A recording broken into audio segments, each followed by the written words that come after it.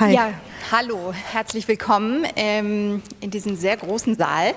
Ähm, wir wollen ein bisschen was erzählen und bevor wir anfangen, erkläre ich vielleicht äh, kurz die Konstellation.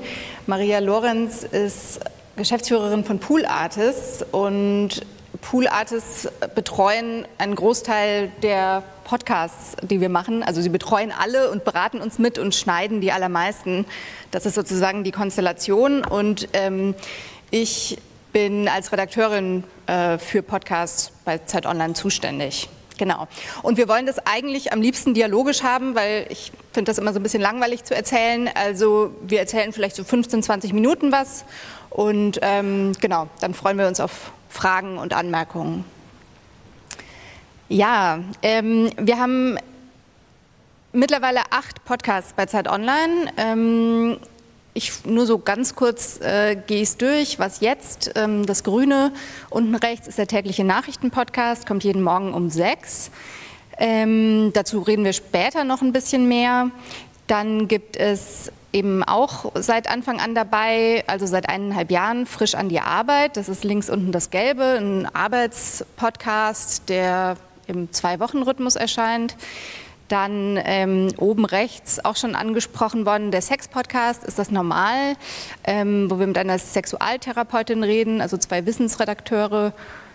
Dann gibt es den Wissens-Podcast, woher weißt du das? Das ist der zweite von links oben, erscheint alle drei Wochen und ist angedockt an Zeitwissen. Ähm, dann gibt es den Podcast Servus Grüzi Hallo. Das ist ein transalpiner Podcast, bei dem also ein Berliner Politikredakteur, ein Österreicher Politikredakteur und ein Schweizer äh, miteinander reden und gucken, was in den drei Ländern so gleich oder auch unterschiedlich läuft. Ähm, dann haben wir den schon angesprochenen äh, unendlichen Laber-Podcast, alles gesagt, ähm, bei dem Jochen Wegner, der Chefredakteur von Zeit Online und Christoph Arment, der Chefredakteur vom Zeitmagazin, sehr, sehr lange mit allen möglichen Menschen reden. Ähm, und dann haben wir, was habe ich vergessen, Verbrechen äh, oben links, ähm, ein Verbrechenspodcast, wie der Name schon sagt, äh, von Sabine Rückert ähm, von der Zeit, die Kriminalreporterin, die erzählt. Und ähm, noch als letztes ist hinzugekommen, unten rechts, die Schaulustigen, ein Fernsehpodcast von Sophie Passmann und Matthias Kalle. Genau.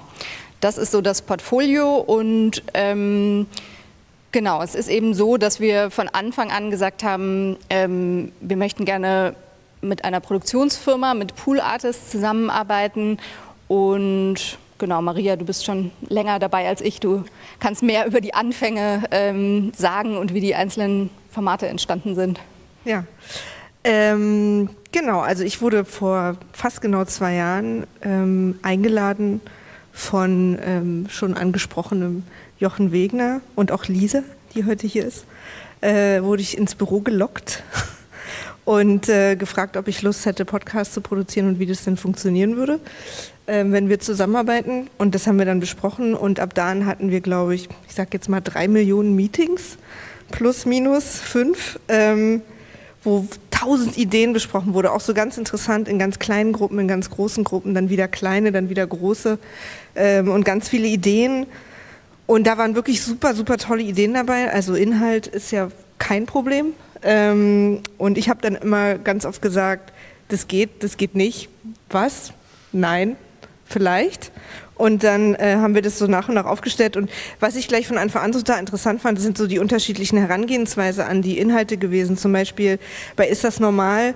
War so die Person als erstes da, Melanie Büttner, die Sexualtherapeutin, die wahnsinnig tolle Geschichten zu erzählen hat und aber auch tolle Tipps gibt und einfach so einen schönen, breiten Blick auf dieses Thema hat und das auch ernsthaft, aber auch mit Humor und auch einfach eine Hilfe ist und die Hörer nehmen das auch total an und da gibt es auch einen wahnsinnig interessanten Dialog, der gestartet ist. Bei was jetzt war natürlich klar der Inhalt im Vordergrund, also dass das, da war der Inhalt zuerst ein News-Podcast war von Anfang an gewollt, so ein täglicher bei Alles gesagt, der zwar erst ein Jahr später gestartet ist, aber die Idee war von Anfang an da, war das Format die erste Idee, dieser Wunsch, dass man keine Zeitbegrenzung hat bei Gesprächen. Ähm, diese Zeitbegrenzung oder ähm, Begrenzung, die man auch aus Artikeln einfach kennt, dass, da ist es dann die Zeichenbegrenzung, dass die mal aufgehoben wird und einfach mal, weil ab Stunde drei passieren ja erst die Dinge. Ähm, und da dieser Podcast bei mir zu Hause stattfindet, kann ich das bestätigen, dass da dann die Dinge passieren. Ähm, mit Alkohol. mit Alkohol. ähm, und ähm, haben dann, aber, und diese ganzen Ideen haben wir so ein bisschen auch so aussortiert, dass wir jeden Podcast mal ein Jahr in die Zukunft gedacht haben, gibt es den dann noch? Ist der Inhalt so, dass es den in einem Jahr noch geben könnte? Und dann sind halt die quasi übrig geblieben. Einige Ideen waren von Anfang an da, einige kamen dazu. Ähm, ich fand auch immer toll bei Zeit, dass sie sich nicht begrenzt haben. Ist es jetzt jemand internes, der was erzählt? Sind es externe Leute, wie jetzt auch bei Sophie Passmann oder eben Melanie Büttner? Und, ähm, und dann ging es halt an den nächsten Schritt, also in der Formatentwicklung. Was kommt auf uns zu an Logistik? Äh, der Redaktionsalltag darf nicht vergessen werden. Die Leute machen auch noch andere Sachen nebenher und wollen trotzdem, soll es ja auch toll werden und für die Hörer schön. Dann auch so ganz simple Sachen wie, wie kriegt man, das klingt jetzt eigentlich wie ein Witz, wie kriegt man einen Chefredakteur online, einen Chefredakteur Magazin und einen großen Promi zu einem Termin irgendwo hin? Nahezu unmöglich, wie sie herausgestellt hat, aber auch das klappt jetzt ab und zu. Und, oder zum Beispiel ist das normal, Melanie Bündner ist in München, die Transalpin-Jungs sind in drei unterschiedlichen Ländern, also da gab es wirklich für alle unterschiedliche Sachen, womit ich auch schon bei der Produktion bin, die wir ähm, für fast alle Podcasts dankenswerterweise übernehmen. Da ging es dann bei Was jetzt war so ein bisschen die, wie machen wir das, dass wir aktuell sind, ohne dass wir für immer nachts leben müssen. Aber wir wollen unbedingt morgens erscheinen. Da gab es tausend Ideen, die hin und her geflogen sind. Und jetzt ist es ja so ganz international, dass es eine Nachtschicht gibt, die in Bangkok, San Francisco und New York sitzt. Ähm, aber und, ähm, und dann gibt es irgendwie bei, in, ist das normal zum Beispiel, wird, kann man gut vorproduzieren. Sex ist immer aktuell. Also das kann man quasi terminungebunden machen. Und ähm, Servus Grüezi Hallo wird halt einzeln, jeder klingt anders. Der eine sitzt in einem Raum, wo es jetzt, was mittlerweile sehr geliebt wird und am Anfang gab es Schweißausbrüche, weil es immer eine Glocke gab, die bei ihm vorm Fenster losgeht, wenn aufgenommen wird. Äh, und da schneiden wir dann drei Spuren zusammen. Einige Aufnahmen passieren bei mir im Wohnzimmer, einige im Studio bei euch. Andere wieder, da hat dann irgendwer nur, ich bin jetzt zwei Stunden in einem Hotel in Hamburg, kommt vorbei oder es gibt das Interview nicht. Dann fangen wir alle an, zu rennen und zu schwitzen und das kriegen wir dann auch irgendwie hin. Also es ist wirklich bei jedem, es gibt überhaupt kein Schema F, es ist extrem unterschiedlich und deswegen macht es aber auch so Spaß, weil wir immer gucken, dass wir am Ende dem Thema und dem Hörer gerecht werden und nicht irgendeiner Arbeitsstruktur. Ähm, ich würde noch ein bisschen was zu was jetzt erzählen, zu unserem Nachrichtenpodcast, weil man da vielleicht so ein paar Sachen, äh, so ein paar Herausforderungen, Maria, du hast es gerade schon gesagt, äh, so merkt. Ne? Also in diesem aktuellen, wir wollen aktuell sein. Ähm, es ist so, wir sind ein Team von fünf, sechs Leuten. Das sind alles Redakteure mit ganz unterschiedlichem Schwerpunkt. Das ist auch so gewollt. Also es gibt einen Sportredakteur im Team, einen Wissensredakteur. Ähm, es gibt Leute mit Politik-Background. Ähm, also so ganz unterschiedlich. Und ähm, es ist schon auch gewollt oder wir diskutieren das immer mal wieder intern, wie sehr wollen wir ähm, sozusagen, wie sehr wollen wir formatiert sein und wie sehr wollen wir aber auch, dass jeder ähm, seine Eigenart hat und äh, also insgesamt ist der Tenor, wir mögen das, dass es ähm, dass es wechselt oder ich glaube, dass es ähm, ganz gut funktioniert, dass es so unterschiedlich ist und vielleicht manche Moderatoren bei manchen Hörern gut ankommen und andere eher äh, bei anderen. Genau, und ähm, wir produzieren alles selbst, also wir arbeiten ziemlich eigenständig. Wir kommen morgens in die Redaktion, ähm, überlegen uns, welche, wir haben so zwei Hauptthemen, die wir in Gesprächen bearbeiten und vorne einen Nachrichtenblock. Ähm, welche Themen sind es an dem Tag? Ähm, und da auch schon merkt man auch eigene Vorlieben so ein bisschen. Ähm, also Bundesliga kommt bei mir nicht so oft vor wie bei Fabian oder so. Ähm, und genau, produzieren, also suchen Gesprächspartner, nehmen im Studio auf. Ähm, oft ist der Gesprächspartner auch nicht im Studio, sondern am Telefon. Das ist natürlich ähm, nicht so schön, hört man leider manchmal. Ähm, genau, schneiden und ähm, genau, machen im Grunde alles, ähm, machen den Podcast fertig, laden ihn hoch und dann kommt eben die Nachtschicht ins Spiel, die dann vorne den Nachrichtenblock aktualisiert und manchmal wirklich so bei harten Nachrichtenlagen, Brexit hatten wir jetzt äh, diese Woche mal, ähm, auch ein Gespräch noch selber führen, was dann einfach äh, veralten würde, wenn man das über Nacht nicht aktualisieren würde. Deswegen sagen wir dann immer, Redaktionsschluss ist 5 Uhr morgens und um 6 Uhr morgens ähm, geht der Podcast online. Genau, und den produzieren, produziert ihr selber. Da haben wir das so gemacht, also dass wir bei Pulates fast alle Podcasts nehmen wir bei euch auf und schneiden die auch und laden die auch hoch. Aber bei dem habe ich dann, haben wir damals nach zwei Monaten gemerkt, wenn ich jetzt jeden Tag bei euch in die Bist Redaktion komme, werde ich wahnsinnig ja, genau. und kann auch überhaupt nichts anderes mehr machen. Und da haben wir das dann so gemacht, dass wir so mit Workshops ähm, so nach und nach den allen Moderatoren, die das quasi in der Rotation machen, so aufnehmen und, und eben diesen Schnitt beigebracht haben. Und für den, was jetzt Podcast sind, wir nur noch eigentlich beratend da und ab und zu mal so Auffrischungsworkshops äh, und solche Geschichten. Also da mhm. sind wir tatsächlich irgendwann aus purer Selbstliebe ausgestiegen, um wieder, um halt uns dann auch um die anderen Projekte zu kümmern. Es macht halt auch Sinn, weil man nicht genau planen kann, weil welcher Gesprächspartner Zeit hat oder ob man eben jetzt, weil irgendeine späte Entscheidung ansteht, dann irgendwie erst mittags reinkommt und bis abends um elf bleibt oder so. Das macht schon irgendwie Sinn, dass man es sich ein bisschen frei einteilen kann. Ähm, was wir merken, ähm, das war ja gerade auch schon bei den Kolleginnen von Spiegel Online Thema, ähm, dass wir sehr, sehr viel Feedback kriegen und tatsächlich auch anderes in einer anderen Art und Weise, als wir es in Kommentaren kriegen oder in Mails. Ähm, ja, also eine E-Mail, an die ich mich noch gut erinnere, war von jemandem, ich glaube, es war eine junge Studentin, die schrieb so, ja, ich höre ja eigentlich irgendwie keine Nachrichten oder es ist irgendwie so negativ oder es überfordert mich ähm, und jetzt gibt es mal so ein Format.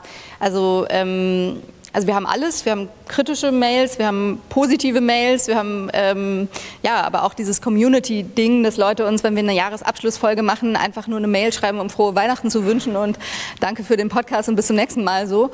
Ähm, Genau, wir hatten einen, einen kleinen ähm, Super-GAU, als ähm, mal ein Kollege die Ärzte und die Prinzen verwechselt hat. Ähm, es gab nie so viele Mails wie an diesem Tag. Ähm, unverzeihlicher Fehler, aber naja. Was ja auch so lustig ist, ne, dass es bei dem, was ja eigentlich die Themen sind, die euch normalerweise bewegen, dass es dazu dann die meisten Mails gibt. Ja. Das geht nicht. Prinzen ja. und Ärzte. Finde ich übrigens auch. Ja, ja, soll, sollte man, sollte man Jetzt, nicht wo wir hier mal sitzen. Genau, können wir das äh, nochmal klären. Genau. Was uns so beschäftigt, ähm, ich weiß gar nicht, wie viel Zeit wir noch haben. Ich wollte ein bisschen was zur Struktur sagen und dann zur Finanzierung und dann wollen wir natürlich fragen. 15. Okay, dann mache ich es mal ein bisschen schneller. Also äh, genau, ähm, was uns beschäftigt ist, dass diese sozusagen, wir haben angefangen, Podcasts zu machen, weil wir gesagt haben, wir finden das super und wir machen das jetzt mal. Ähm, und es haben aber alle in irgendeiner Weise obendrauf gemacht auf ihren normalen Job, also die Moderatoren. Ähm, und jetzt kommt das so langsam, oder manche Leute haben mit einem gewissen Prozentsatz ihrer Stelle zum Beispiel was jetzt moderiert. Und jetzt kommt das so langsam, also ich bin seit Dezember da ähm, und nur für Podcasts zuständig, dass so, sozusagen so langsam die Struktur hinterherkommt. So. Ähm, was uns auch natürlich beschäftigt, ist so das Standing innerhalb der Redaktion. Ähm, also ich erlebe da gerade so einen Umschwung. Also ähm, es haben von Anfang an oder es waren viele Leute aufgeschlossen, aber man merkt schon sozusagen, dass jetzt in den Konferenzen mehr über Podcasts geredet wird oder auch über Videos. Ich glaube, lange Zeit äh, war so der Konsens, man redet halt über Texte und dann wird diskutiert, was jetzt die tollste Reportage war oder so. Ähm, und das ähm, ja, ändert sich so. Genau. Ich glaube, was vielleicht auch noch ein bisschen speziell ist, ist, dass wir sehr schnell sind, wenn wir was machen wollen.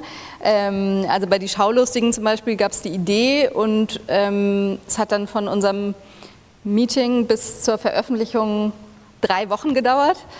Ähm, also genau, das ist aber auch einfach der, dem geschuldet, dass also der Chef Jochen Wegner selber gerne Podcasts macht, großer Fan ist und ähm, dann auch, wenn es nötig ist, sozusagen alle Energie der Redaktion darauf da, ja, gebündelt wird, um einen neuen Podcast an den Start zu bringen.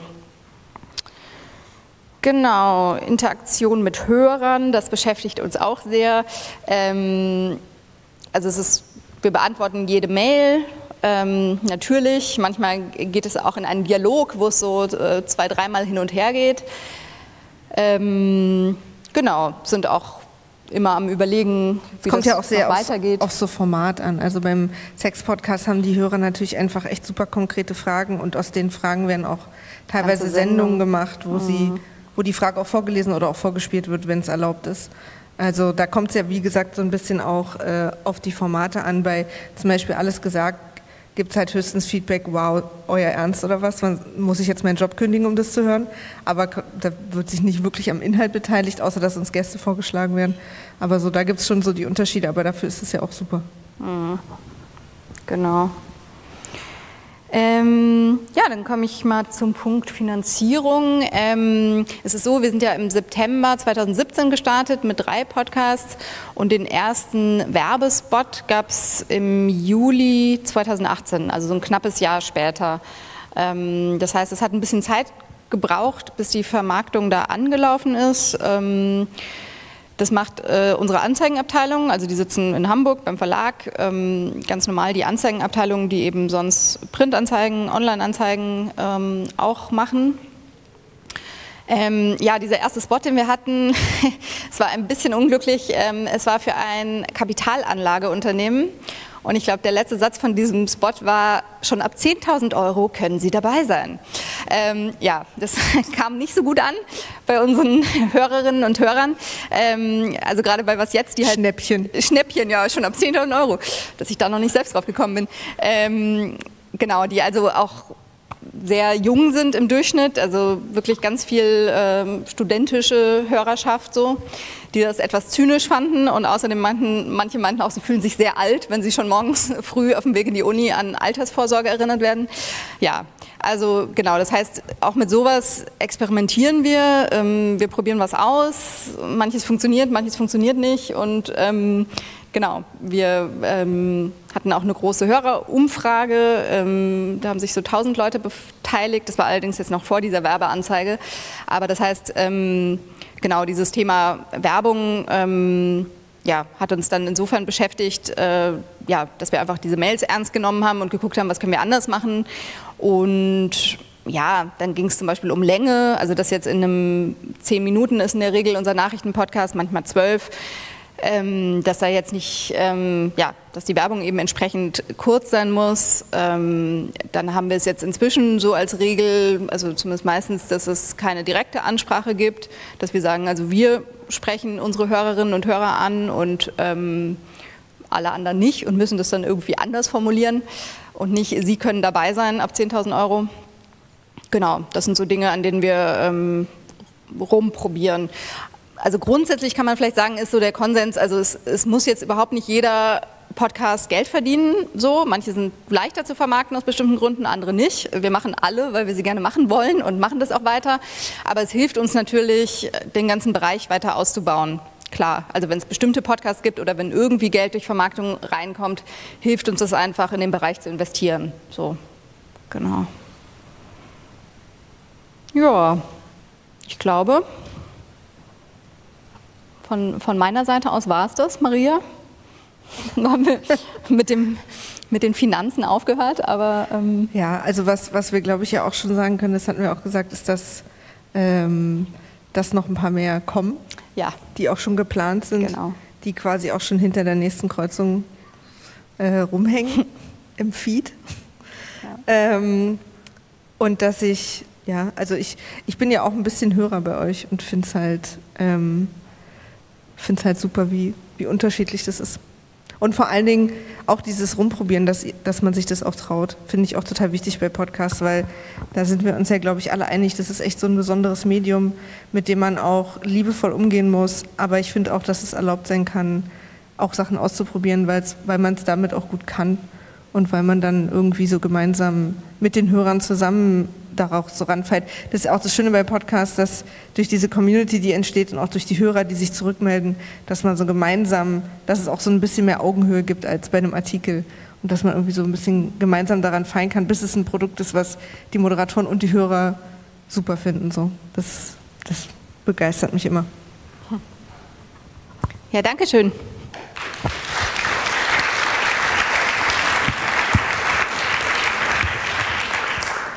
Danke auch erstmal an euch beide. Wir haben jetzt noch knapp zehn Minuten Zeit, ebenfalls für Fragen aus dem Plenum.